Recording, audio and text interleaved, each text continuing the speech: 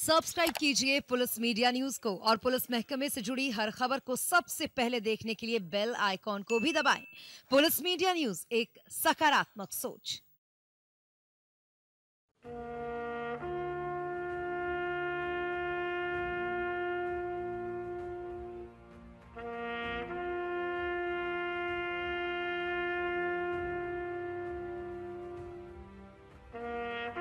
गर्व से भरी हुई ललाट पर सूर्य सा तेज।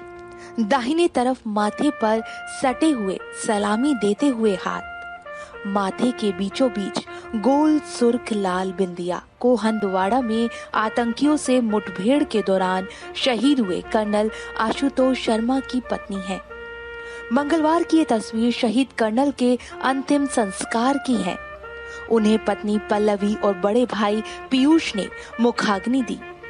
मुखाग्नि देते समय पत्नी के चेहरे पर गर्व की मुस्कान थी।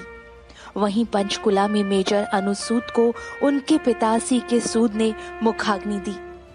इससे पहले चंडीगढ़ में मेजर अनुसूद की पार्थिव देह को आर्मी हॉस्पिटल से उनके पंचकुला स्थित घर ले जाया गया था।